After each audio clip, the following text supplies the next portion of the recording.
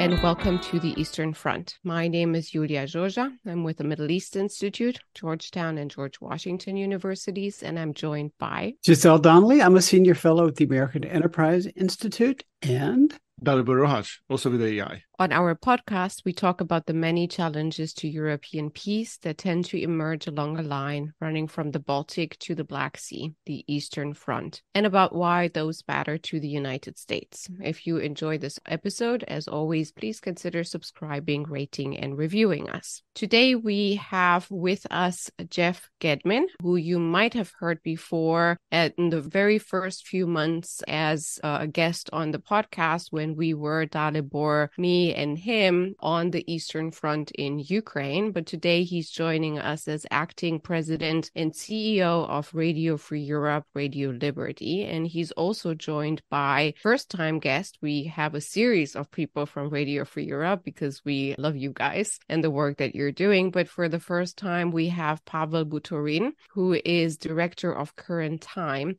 at Radio Free Europe, Radio Liberty. And Jeff and Pavel are here to talk about journalists detained and first and foremost, Alsu, who's been all over Western media over the last two weeks. She's a journalist with Radio Free Europe, Radio Liberty. She is a US citizen, a dual citizen, Russian and US, and she is what we think is wrongfully detained in Russia. So, Jeff and Pavel, thank you so much for joining us today. If you want to get us started on Alsu, where she is, why she's important, and what you guys are doing to help her and then we'll broaden the conversation to also ask about other journalists in trouble that are working with and for Radio Free Europe. So, welcome. Julia, thank you very much. And Dalibor and Giselle, great to be with you. And it's always great to be with my colleague, Pavel. Pavel, if it's okay with you, I'm going to take the liberty of starting us off. And, and thank you so much. This is a subject that is so important to this company, RFERL. The basic facts of the case go like this We have a treasured colleague whom you mentioned Alsu, who reports on things like culture and language and minority rights, who this summer on May 20th took a private trip to Russia, to Kazan, to visit her mother, elderly and frail. And when Alsu tried to leave the country, come back to Prague, where she lives and works, on June 2nd, she was detained and both her passports were confiscated. So, Julia, you're right. She is, as I would put it, a Russian by birth and an American by choice. And suddenly she was unable to travel. Uh, so went July and August and September. And then suddenly on October 18th, things turned and she was arrested. She was brought in for interrogation. Her photo page for American passport was published. Her husband was denounced. And now she sits in pre trial detention in Kazan. And we're worried about her. Charges present and perhaps maybe charges to come.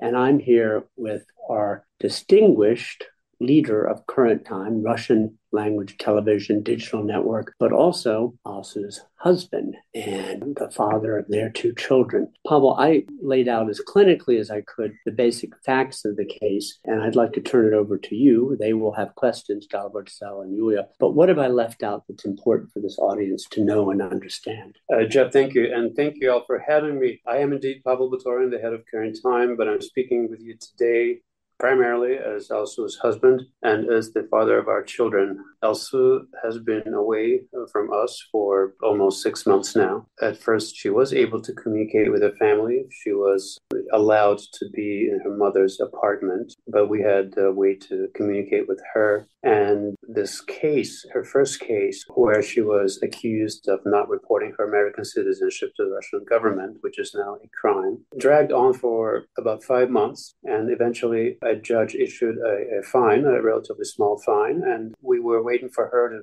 pay the fine. But before she was able to pay uh, that relatively small fine, masked men identifying as uh, police or investigative committee came knocking on her door and took her away. Uh, and that happened on October 18th, and she has been in detention since. Alsu is in a cell, which, you know, as we know, It's quite cold. It's about zero Celsius in, in Kazan, Tatarstan right now. There, there are ways to communicate with her through an official online system uh, that takes only Russian issued payment cards. So not everyone here is able to communicate with her. We know that some of those messages are censored. So because Alsu cannot openly communicate with us, we cannot be sure that her captors treating her with the dignity and respect that she deserves. So that certainly gives me you know, cause for concern about her conditions. And I will say again that Alsu traveled to Russia in her personal capacity. She is a proud Tatar, proud journalist with Radio Free Europe. However, on this particular trip. She was not doing any reporting. She was attending to a family circumstance. She had to travel there to help out her sick mom. And what I find troubling is that I think that the Russian authorities were waiting for an American citizen to find themselves in this situation, in this vulnerable uh, position to be in Russia on family circumstances. And as if they'd been waiting for that to happen and to uh, arrest someone on these absurd charges of not self reporting themselves as so called foreign agent. Pavel, I, I know this has just got to be an incredibly tender subject for you, but it's impossible not to empathize with your situation and Alsu's situation. I guess the thing that immediately leaps to mind is what do you know about her condition? And when she left to see her mother, did she anticipate the risk at this scale or the a danger that would be this frightening? Just to put a word on it you know, what were you guys talking about as she prepared to go see her mother? Alsu was aware of the risks uh, associated with this trip. Uh, that was something that we discussed in the family, uh, something that she discussed here with her colleagues at RFE. She is a devoted daughter. She, again, was aware of possible consequences, but perhaps not of this scale. This is the first case when someone has been detained on charges of not self reporting themselves as a foreign agent. It's really unprecedented. Russia does have a list of organizations and individuals uh, that it believes to be foreign agents. Many of our colleagues here at Radio Free Europe are on that list. However, Alsu was not on it. She was not on that list. Uh, the Russian government had not listed her as a so called foreign agent. So I'm pretty sure that it was quite a shock to her to even find out that she, she was expected to report upon herself. She doesn't consider herself to be a foreign agent. We don't think there's an agent. Yeah. She's not an agent. She's not acting on behalf of the United States government or of any government for that matter. She's a journalist. So, yes, we're aware of the risks, perhaps not of this magnitude. But again, she's a, a devoted daughter and she had to attend to a family emergency. So I'm going to add very briefly, if I may. Across the company, this creates now uh, very big dilemmas because whether it's Afghanistan for its reasons, Iran, Russia, Belarus, uh, whatever was the case one, two, three years ago, and these were not entirely free and liberal and pluralistic societies with kind regimes in the first place, these countries and markets are tightening and tightening and tightening month by month and quarter by quarter. And so I think for many of our editors and producers and technicians and journalists, they have to weigh, we urge them to refrain from travel to these increasingly dangerous places. And they weigh responsibility to the company, hmm. care for their own safety and security, and obligations and the bonds of family. It's hard now. Yeah, I, I'm entirely sympathetic. You know, Jeff is a former reporter who's independently, you know, gone to war zones and things like that. I'm familiar with the judgments that one has to make. Things that I did 25 and 30 years ago, I certainly wouldn't do now. And nothing is analogous to the kind of situation one would find in Russia today. So it's just striking a very personal chord. Dalibor, you were yeah. If, if I may, so, so I, I presume that Alsu is getting you know legal assistance that that she is talking to lawyers who might be able to to help her. But the problem, of course, is that the idea that there is due process and any sort of you know, rule of law that she could rely on in Russia is, is obviously illusory and, and whatever charges they are brought against her, whatever process or trial she'll be put through is just the facade for essentially power play. I mean, the Russian regime is doing this because it can, uh, just as they are doing it to Evan Gershkovich and any number of, of other people. And so, so if there is hope, I presume it is, you know, in the realm of politics. It is in the realm of U.S. government flexing its muscles, or perhaps offering concessions to the Kremlin that would be valuable enough for for the Russians to to release her and others who have suffered from a from a similar faith. Um, obviously, this is extremely sensitive, and I don't want to put you in a sort of awkward situation. But what what is the State Department doing on this front? Do you have a sense of you know what the administration is thinking the best course of action is in situations like these, particularly within Russia? And then, if I can add one more thing, and then perhaps we'll we'll cast the net a little bit wider after this. I've also been wondering to what extent Alsu is maybe even a little bit more vulnerable than Evan because she has dual citizenship. And so that makes her perhaps even a double target in terms of being a US citizen. And Pavel has alluded to that, but also being a Russian citizen and what journalists now mean in Russia. So, so I'm going to go first, if I may, Dalibor and Yulia. So, first of all, true Yulia and Evan and Alsu are both Americans, and they're the two American journalists held now in detention unjustly and unlawfully.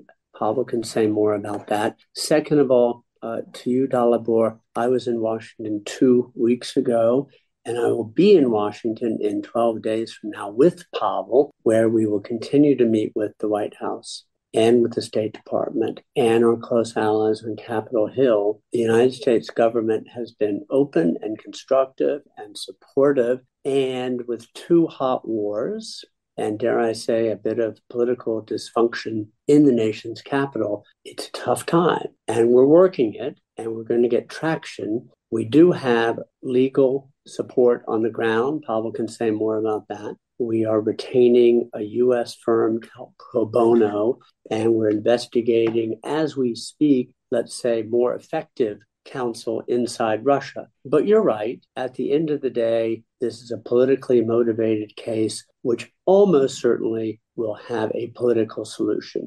But Pavel, please over to you. So about representation, Alsu is working with two local lawyers right now, and they're doing their job you know, to the best of their ability, and they're working within the Russian system. However, we must recognize that Alsu cannot fully rely on the Russian courts, uh, Russian system for justice. The judiciary is hardly independent in Russia, and this is why we're working very hard to mount as much pressure as possible on Russia to raise as much awareness as possible about Alsu's case this is why I think that it, it's to Alsu's benefit that we are liaising with the State Department and trying, uh, hoping for the United States to address this on the highest diplomatic level. And about her dual citizenship. So Russia and the United States do not have an agreement of du- on dual citizenship. For Russia, she is a Russian uh, citizen. For the United States, she is an American citizen.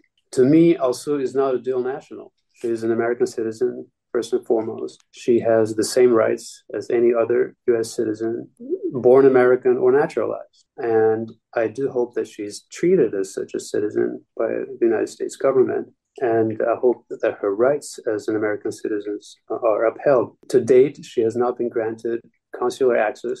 And as far as I understand, today, which marks four weeks in detention for soon, I don't think the Russian government has informed officially the United States of her detention. Hmm. I just want to add briefly as we work hard, hard, hard day and night to, to work toward her release, we are also working to see if we can get better conditions. She's not been convicted of anything, you know, she's in pretrial detention, and it's just simply profoundly disappointing to see an American citizen in conditions of overcrowded cell, limited sunlight. It's hard to sleep with lights on. As Pavel said, if it's 32 degrees Fahrenheit without good blankets, it's hard to, to sustain your mental health uh, for most of us day after day and week after week. So we are appealing to Russian authorities, whatever they are seeking in such a case, a little bit of decency and a little bit of humanity. Just uh, ask a little bit about what Alsu may have been telling you, Pavel and Jeff, in the period prior to her. Uh, I don't think it's unfair to call it abduction, uh, uh, particularly in Kazan, you know, uh, mixed ethnic city, and the relations between ethnic Russians and Tatars has not always been a, a happy one. I mean, the whole thing sounds like something out of late Cold War, you know, spy literature or espionage literature. Did Alsu express any anxiety about being reported by her neighbor? I mean you know this again this is very cliched interpretation but we have so few insights into what life is like inside russia these days. So I'd just be interested to know if there are any indicators or anxieties she may have felt prior to the actual intervention of the authorities, or was it just an out of the blue event? And maybe one small semi-related thing to add here for our audience's context is that we've had Alsu's editor at Radio Free Europe somewhat recently on our podcast here, Rim Gilfanov, talking about Tatars in Russia, in the Black Sea region, and specifically in um, in Ukraine as well. Alsu is self-identifying as Tatar and has been working with um, Rim Gilfanov for what 25 years. 25 years is correct. If I, if I may, um, what, strikes me about uh, just to maybe widen the, the the aperture a little bit, what what strikes me about the this situation and the sort of broader environment it illustrates is is just the sort of sheer arbitrary nature of the Russian state, which objectively has created tighter conditions for journalists, particularly foreign journalists, than the former Soviet Union. Yet at the same time, in this sort of strange, almost surreal postmodern world, somebody like Steve Rosenberg is allowed to air his you know what strike me as as very candid dispatches from from Russia, whereas others get arrested on on a basis that doesn't seem to follow a clear logic. Obviously, uh, you don't operate in Russia for precisely those those reasons. Yet you have to rely on help from Russian sources and Russian stringers, Russian contributors who are putting themselves at risk to do this work. How are you thinking about, you know, gaining perhaps a technological edge over the Russian state in enabling a more or less free flow of information to continue in a way that would continue to sort of enlighten our own understanding of, of Russia and what's going on? Because I think that is specifically what is what is at stake here, if especially if, if the environment continues to tighten further. All right, so several points have been made, and uh, let me just pick up on something that was said about Alsu's Tatar identity. Let me talk to that first. I can't think of a more passionate enthusiast of Tatar culture and language. Alsu dedicated her entire career. No, scratch that. Not just her career, her life. This is something that she does in her free time to advancing her language and her culture. And and so it's particularly disheartening for me to see her native Tatarstan holding her behind bars, possibly on Moscow's orders, someone who's been so passionate about the Tatar language and culture. And so they're holding her in a cold prison cell on these ridiculous charges. And I would expect a lot more appreciation, as a matter of fact, from, from her native Tatarstan, to which she dedicated her whole life. So yeah, I'll say that about her identity. And this is really what, what makes her makes her stand out. It defines her really. Did that make her more of a target, do you think? Like look at all the names that uh, all the judges and and you know, as far as we know, uh, I mean they sound Tatar.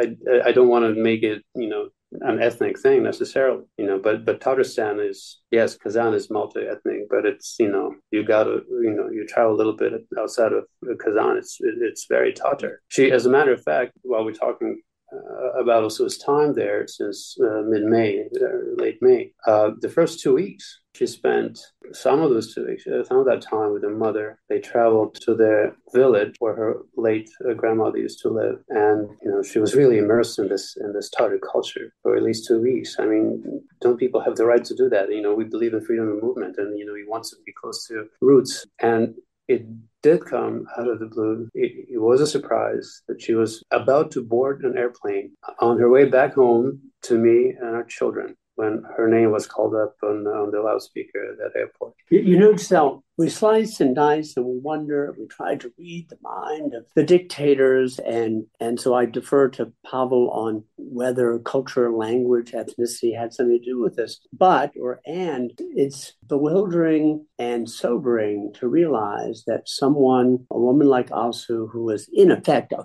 culture, language, and minority rights reporter, that those things are deemed in some places, like Vladimir Putin's Russia, as crimes. And, you know, our friend Susie Garment wrote recently about Alsu and American Purpose. And Susie's formulation was it's just journalism. But in this day and age, it creates, as she put it, real paranoia in the minds of the men who have the guns. It's striking and sobering. It, it, certainly fits in such a long chain of Putin's targets um, that have been for a long time now focusing exactly on journalists. And um, so both of you, Jeff and Pavel, are operating in or with Russian speaking media, and you've been seeing this very closely. Can you tell us a little bit more about how being a journalist has changed, particularly since the full scale invasion in this Russian speaking world in Eastern Europe and beyond? And then also about other Radio Free Europe, Radio Liberty journalists on in the Russian speaking space that are detained. And if I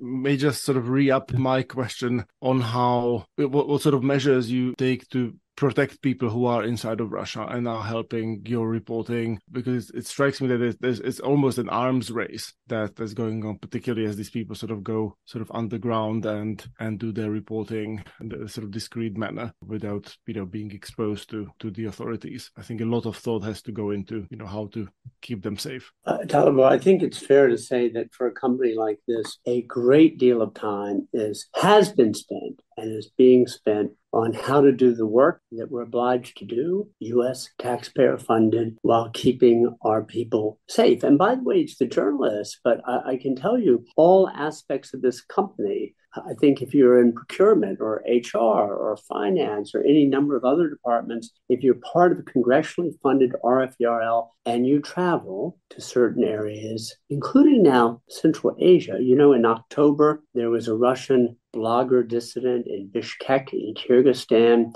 23 years old, let's say, minding his own business, so to speak. And one late night in October, two vehicles 10 masked men. He's disappeared and turns up last week in Moscow in a pre trial detention center. So it's a large problem. I think it's a trend. I'm going to say something to what Yulia asked about and then turn the microphone back to Pavel. Um, we do have concerns about markets like Iran and Afghanistan and Central Asia. We have, as we speak, colleagues in prison in Belarus. We have one in Russian occupied Crimea. They're all journalists. I would even say, to underscore the, the intensity of the matter, Dalibor, we have a spouse in prison in Belarus because she had the audacity to say, let my husband go. That gets you a jail sentence. Pavel, why don't you speak to any aspect of that? Journalists are an endangered species in Russia. You are either pro government and uh, essentially doing PR work for, for the government, or you risk persecution, prosecution, imprisonment, or something that the government may deem, you know, what they call discrediting the Russian armed forces, even reporting about voices that oppose uh, Russia's war on Ukraine is dangerous as, as we know all too well. Our journalists here uh, in Prague who come from Russia and who work for so many departments here at RFERL, they don't feel safe going back to Russia. Uh, many of them have similar family situations where their elderly, ailing parents are not able to travel outside of Russia. Some of them have to go to family reunions to you know, third countries, but even those countries are now unsafe. Uh, countries where Russians can travel still freely to very few, very few countries, really. We are we're so lucky to have some journalists inside Russia working with us. Some of them work you know, anonymously without a byline. But it's becoming increasingly dangerous for them to continue working for any independent media outlet. As you know, many Russian journalists have left uh, Russia since the beginning of the full scale invasion. They found uh, a new home in other countries. But the challenge for them, and perhaps for us, is to how remain relevant, uh, how to produce content that is relevant to audiences inside Russia. And, uh, and, therefore, we're finding new ways about reporting, about using uh, open source intelligence, you know, working with social media, verifying content, etc. So this is a very challenging time, but I do believe that we will continue successfully to cover all things inside Russia as well as outside. Jeff, I wonder if you could speak to the situation in other, you know, authoritarian European countries. You mentioned Belarus, which, you know, only a step behind the Russians in terms of their ability to persecute journalists, but also you have to wonder what the situation is in Hungary or uh, now in Slovakia or Serbia, for example whether you're able to conduct business as usual or have to make adjustments to protect r- reporters in those countries. So, just how good heavens, the day has come. We were asking about freedom of media in places like Belarus and Hungary. I just want to know how bad. It's worth drawing attention to, is it not? Uh, of course, of course it is. And so you know, there's just such severity in a place like Belarus, whereby most count of independent human rights groups, uh, there are more than 1,500 political prisoners. That's mind focusing. And in a case of Belarus, I can tell you, as we work to get our people free, the influence of the United States and the European Union, it's oh so slight. I mean, how do we get to that point? The channels, the access points, the, the ability to pry someone out, it's so, so slight. Uh, we have big challenges in Iran. We do all platforms, by the way. We do 27 languages, by the way. I attended today a program review of our um, Persian service, Farda, all platforms, by the way and Iran, where we're not permitted a bureau, no surprise, where we do have a network of stringers around Iran in places like Baku, Istanbul, Dubai, Yerevan, where Iranians come and go more or less, where we can collect information and do decent reporting. That market is tightening and tightening and tighter than a drum. It becomes increasingly dangerous. Then I want to say a word about Hungary, which is, and Dalibor, you'll correct me if I'm wrong, because you've written so extensively about Hungary. It's not Belarus or Iran, for God's sake. I mean, a lot of hate mail from the Hungarian embassy in Prague and Washington after this podcast.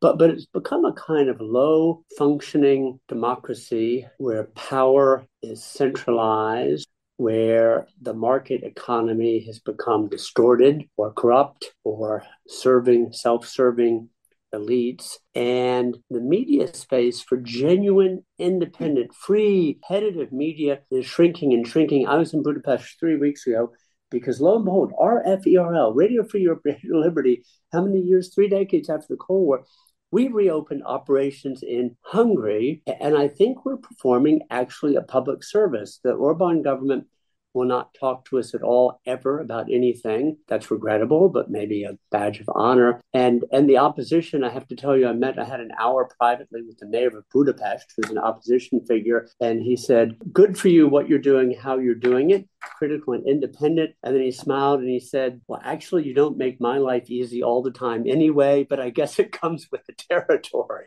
So it's part of a larger trend from the, if I may, the, the moderate, soft, centralizing power of Hungary to the severity of Belarus, but it's part of a larger picture. In this part of your parts, plural of Europe, I think it's very troubling. Generally, the, the control of media is so critical to modern authoritarianism. I think there is a spectrum, right, of what these different regimes can do. Obviously, in Hungary or Slovakia, people are not getting locked up for reporting on the government or running, you know, investigative stories. Although, you know, a Slovak journalist was killed by, by a mobster back in 20, 2018 together with his fiance. But the Hungarian model revolves around just making it economically impossible for independent media outlets to exist. So so if you have a newspaper, radio station, TV station, you have been already driven out of business if you try if you had the big reach and and, and try to do in, in independent reporting and and there is this I mean, residual sort of environment of very tiny media outlets operating online, which makes Hungary look, you know, increasingly like Russia in that respect, which also has a sort of, you know, small ecosystem of, of nominally independent outlets with very little relevance to the overall public conversation. So, so that's the dynamic in Slovakia. You know, not much has happened since the election. Already, newspapers, outlets critical of the government have been excluded from participating in press conferences by government officials, you know, being labeled as enemies of the people and, and, and so on and so forth. So I'm just saying that this puts the mission of RFE RFL into sharper relief, makes it, I don't want to say more important than ever, but more important than ever. It's a message to, for the U.S. Congress. well, uh, yeah, to the degree that this is a struggle of information and ideas. Yes, a message to all of us that this matters a lot. I, I do think that this, uh, and I'm hoping for our audience too, that this focuses the mind primarily, of course, on Alsu and her case, um, but secondarily also on the struggle of journalism in Central and Eastern Europe, all the way from soft Hungary, as Dalibor put it, um, uh, into what is probably now the roughest regime for journalists in all the way in Russia and in Belarus. Before we go, because that is a good note on which to end and as food for thought, just a very quick question to both of you, Jeff and Pavel, about the names of the other journalists along with Alsu um, that are detained and about how we and our audience can help Alsu too, including the hashtag free Alsu on Twitter or X. So, Yulia, we're, we're going to send you all the names. I'm going to check before I do so with our security department about what's public and what's not public and how we want to formulate it. And thank you because we want that support. And then before I get from our side the final word to Pavel, and thank you, Yulia, the way you framed it. We are fighting for the freedom of a woman and mother and colleague named Alsu. I firmly believe that there's a wider meaning to her story, and it's about decency and integrity and humanity the importance and value of freedom of speech and expression and independent thought. I strongly believe that when we fight for her, we're fighting for a larger purpose in which we all believe. So thank you for mentioning that, and uh, thank you for having us. Pavel, I'm going to pass it over to you for our side for final thoughts. I was asked in a recent interview about Alsu what I do every day, how I begin my day. And I, I do begin my day with checking everything Alsu related messages from my colleagues, friends, social media, and I have a couple of paintings uh, at home that feature Alsu I've done over the years. And I have this one painting where Alsu is looking at you, just this piercing look, as if asking me, Are you doing enough to help me out of here? And I want to do more. And I want to use this opportunity, this podcast, all other interviews, and the press engagements to raise awareness, to spread the word. I will appreciate uh, if you also uh, do that. And she needs our support. She does receive a lot of letters from complete strangers. We want her to know that this is a worldwide 24 7 campaign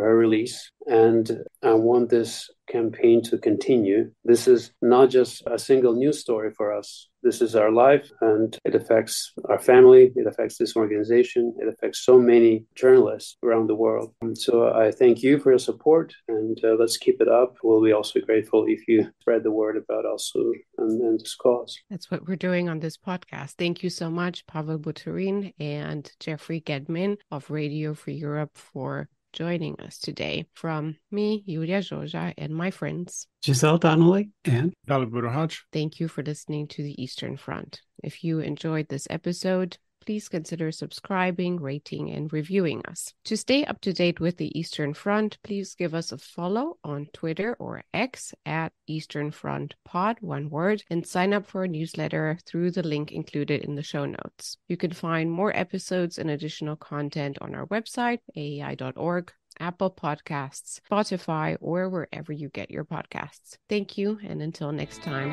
goodbye.